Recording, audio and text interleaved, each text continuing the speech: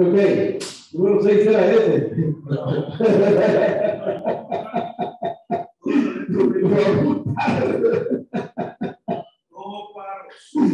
No más paros a la familia.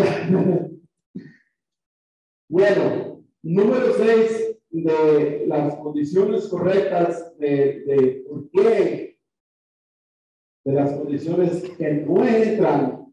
Ya hablamos de las puras, ya hablamos del filtro tapado, ya hablamos de los equipos que no son compatibles. Y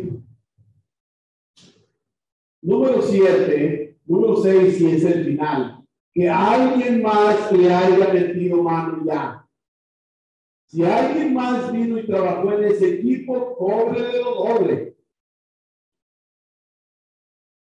No, es que tengo un tío que cuando, el tío se trajo al sobrino y el sobrino trajo a un amigo y entre ellos lo hicieron y no, ya, ya sabes lo que te vas a encontrar. ¿Verdad? Que alguien más haya metido mano, ya va a haber problemas. Porque para empezar tienes que diagnosticar qué es lo que ellos hicieron. Y si, si algo más o menos supieron, tú tienes que dar cuenta si es que lo hicieron bien o no. ¿Verdad? Y si no lo hicieron bien, pues sucede que le echaron a perder el material al cliente y ahora tú tienes que hacer todo otra vez. Así que el número 6 termina con esta lista. Por favor, tómenlas en cuenta porque cuando usted esté allá en el trabajo, tratando que las condiciones correctas le queden, revise todo primero. Uh, a mí me, una un camarada me dice, eh, dice, que me tiene un problema, dice. Ayúdame. Le dije, el problema tienes tuyo, ¿no? Que fui a poner un aire acondicionado, le prometí al Señor que con esto iba a quedar. Esa es otra que yo les he dicho les he dicho, no prometan lo que no van a cumplir. ¿Por qué? Porque no sabes lo que te vas a encontrar. No, tío, yo voy a su casa y, y, le queda bien. No, no, menos con la familia. Menos con la familia prometas. Quiero decir, ay, ay, que voy a estar No, no prometan lo que no van a cumplir. ¿Eh? Yo primero voy y miro el trabajo. Voy y miro las condiciones en las que se encuentra esa propiedad donde se va a instalar un aire acondicionado.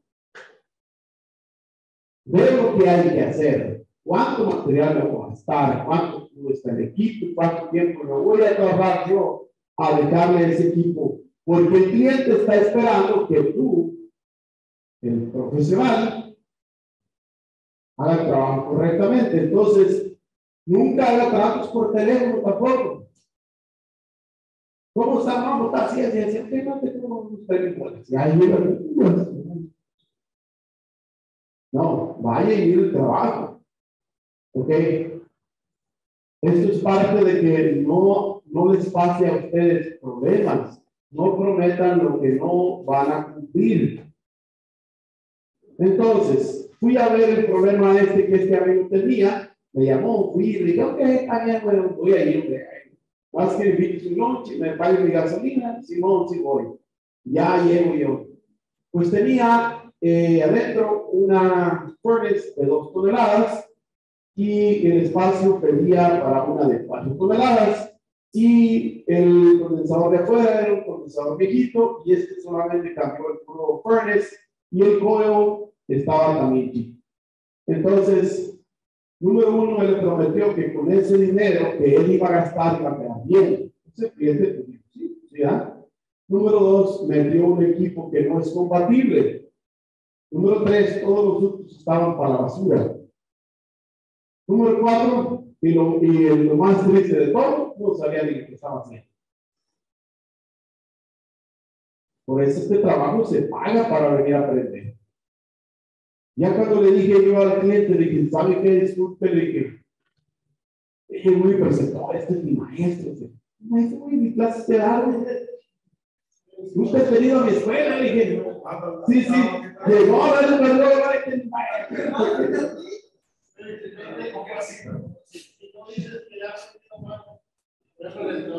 Exacto.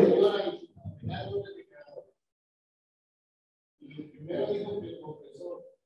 Ajá. el profesor, estuvieron congelando la gente. Ahí dijo que está un timer. Su cuerpo es un timer acá. Ahora parece un gol. Ok. Y ya no, ya no contesta. Yo no Exacto. Entonces, él desde que ya llegué no, no se sentía ya bien chingón, porque yo ya iba a ayudar, pero más no sabía que yo iba a ir a ver y encontrarle todas las cagadas.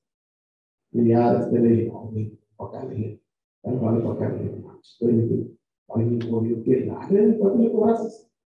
Le cobré 7 millones. Y le digo, ¿y cuánto de esos materiales? Ah, pues se me las como cerca de 3,500, dice, pero ya llevo como 15 días aquí. Ah, rato me llamaban, oye, que ahora no prende. Oiga, que ahora está bien caliente y los niños están llorando. Y, y pobre ya, el pelo se está cayendo ya. Pero, a mí el pelo ya se me había caído, ¿no? Él sí, ya se me estaba cayendo el bien jodido. Ya que hablo con el cliente, le dije, mira, déjame yo, hablo con el cliente, ya hablo con el cliente, le dije, mire, desgraciadamente lo que le voy a decir no le va a gustar, pero es la verdad. Es que él no sabe lo que está haciendo, le dije. A lo mejor por cobrarle un dinero, este, ya, eh, pero realmente le dije, ese trabajo es para 15 mil dólares. Ay, le dije. Lo que pasa es que él, no le quiso pagar 7 mil y él le puso lo que pensó que iba a funcionar. Pero este jale es de 15 mil bolas, le dije. Hay que quitar todos los ductos, hay que quitar todas las máquinas, hay que hacer todo nuevo, le dije. ¿A poco todo? Sí, le dije. ¿cómo va a funcionar si todo el aire se está tirando dentro? ¿Cómo va a funcionar si es de otra medida? ¿Cómo va a funcionar si de, uno de afuera es de una marca y otro de otra marca y de diferente tamaño?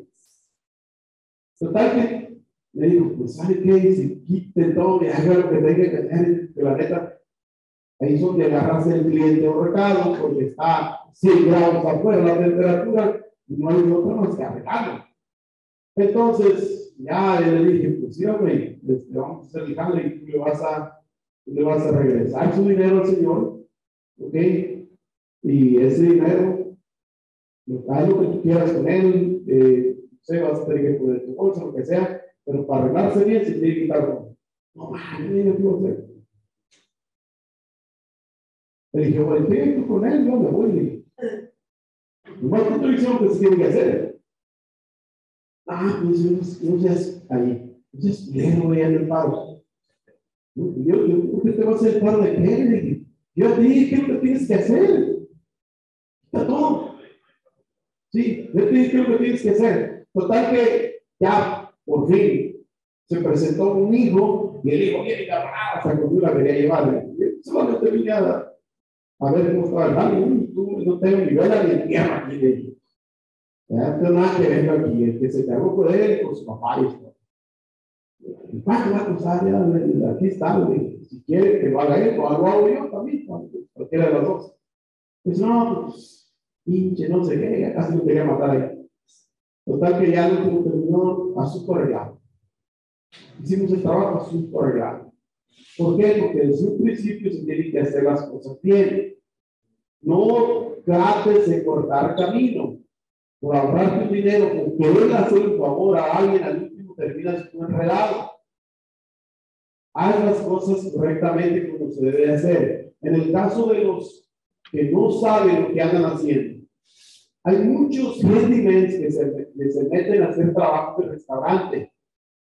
Le dice la cocinera, que lo conoce, oye, Juan, allá en el restaurante hay muchos problemas de cocinar de y ocupan alguien que, que quiera. Ay, Otro Juan, ¿eh? Yo no. Juan. Buenos días, buenos días.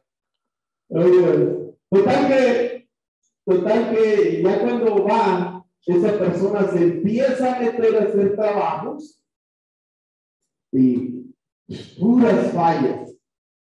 Una cosa es ser un técnico de refrigeración y aire acondicionado, experto en el área, y otra cosa es a adivines. Antes a las adivinanzas, a lo mejor es el compresor. Uh, luego, luego se va el.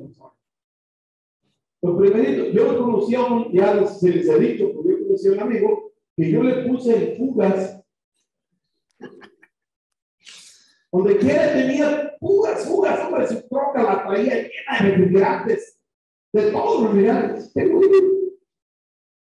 Pesado para la refrigeración, porque yo no sabía es que fugas, fugas andaba tapando. Le llamaban al restaurante, oye, ah, está bueno, lleno de refrigerantes. Llenaba de refrigerante, al otro lo igual. Puras fugas tenía por todos lados. ¿Qué le costaba hacer un trabajo correcto? Comprarse una bomba, comprarse un ancho, sellar bien las fugas, tapar todo, cargar como debe ser y vamos a otro trabajo. Cuando yo entré a hacer ese trabajo, yo le gasté al dueño allí el primer año 500 mil dólares de materiales y trabajo porque el fugas más iba a cargar. Estábamos gastando más ellos de pagar mensualmente. Estaban gastando más ellos en 10 restaurantes en puro refrigerante. Óyeme, 250 la botella. En un día se la gastaron. Ya no tenía a comprar otra botella. Ya se acababa otra y otra. Oye, 250 diarios por todo un mes y el año. Total que la cosa estaba gacha, ¿verdad? Entonces, hay muchos técnicos que se dicen técnicos que aprendieron a la semana, a la semana.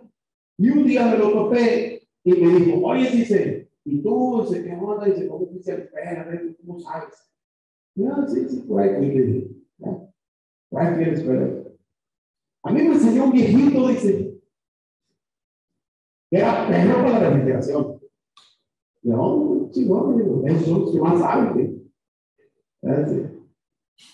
Dice, y él me enseñó a cargar con el amperímetro. Con el amperímetro. Sí, sí, yo cargo todos los temas con el amperímetro. ¿Y en qué no es el mágico? No, dice, pero con la perímetro yo le checo cuando ya lo cargo, y si yo le checo los amperes que está jalando. Eso no es verdad. Eso no es verdad, porque un sistema que está sucio, ¿cuántos amperes te va a jalar comparado cuando esté limpio? Un sistema que tiene un ventilador que no está trabajando correctamente, que no tiene los CFX, ¿te va a dar los amperes que son? Entonces, si te llevas, no quiere, no quiere aguantar, ¿verdad? Así que ya le dije, ¿dónde está? Vamos, dice, no como tú cargas, ¿cómo usted quiere sacar información? Dije, con el manifold, igual. Entonces tú no vas a saber correcto, sí, pero tú no tiene que dictar la carga final. No tiene que dictar la carga final. Y por eso en todos lados tenía llamadas de servicio. Todos los días daba el chinga para ir para acá con sus, con sus estanques y, todo, y, y, se enojaba bien feo con, con, los, con los clientes, no, con el, sí, precisamente con el manejador del restaurante. Es que usted siempre deja la puerta abierta. Por eso sale el, aire. ¿Cómo se va a salir el aire? Eso es lo que no es saber. ¿Qué les dije de, la, de las temperaturas? La temperatura y las moléculas de la calor son volátiles, ¿verdad? Entonces, en este caso, si este es un refrigerador, ¿se sale o se mete el aire? ¿Qué, qué pasa? ¿Qué dice la ley de la termodinámica? Las moléculas de calor son más volátiles que las del aire. Las del aire frío son más pesadas y tienden a tenderse al suelo. De modo que si abres la puerta tú, ¿qué va a suceder? ¿Se va a meter la calor o se va a salir? el frío. Se mete la calor. Las, las moléculas de la temperatura caliente Se van a meter.